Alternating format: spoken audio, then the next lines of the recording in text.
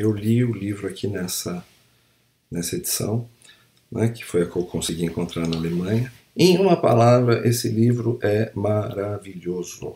É, eu já tinha lido uma outra versão, um outro livro do, do Edouard Louis, do qual não gostei nadinha. Então eu fiquei um pouco apreensivo é, para fazer essa leitura. E olha, foi a melhor surpresa do ano, eu diria, em termos de leitura. E por conta da pandemia foi um ano em que eu li mais do que a média. Então é um, um livro que ah, eu vou levar no coração. E por que isso?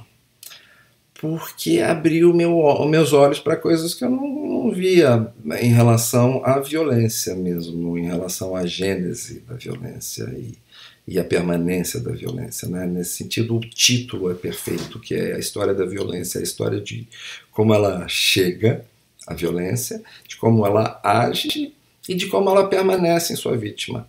Eu acho que mesmo nas obras literárias totalmente ficcionais, a subjetividade do autor está sempre presente, não tem como escapar, é palpável. Né? Uh, e por subjetividade eu entendo esse filtro de experiências uh, pessoais, de visões de mundo, de estar no mundo que cada um de nós tem né, e que nos define.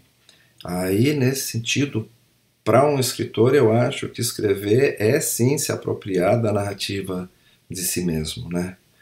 No caso do Edouard Louis, cuja literatura é não ficcional, ou seja, se baseia em fatos muito reais, é, ou pelo menos supostamente reais, é, esse exercício é, de autonarrativa se radicaliza, né?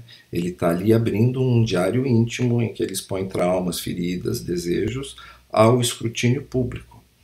E isso pode ser desestabilizante para o escritor, mas por outro lado tem grande valor, porque é por essa revisitação do trauma, e eu estou pensando no caso específico do Eduardo Louis, né, da revisitação de um estupro ou, ou de uma violência sofrida, é, é, é, pode ser muito terapêutico, porque é a maneira de você revisitar, reconhecer, entender qual seria o diagnóstico e a partir daí determinar uma cura para uma situação que pode incomodar ou te inviabilizar, né?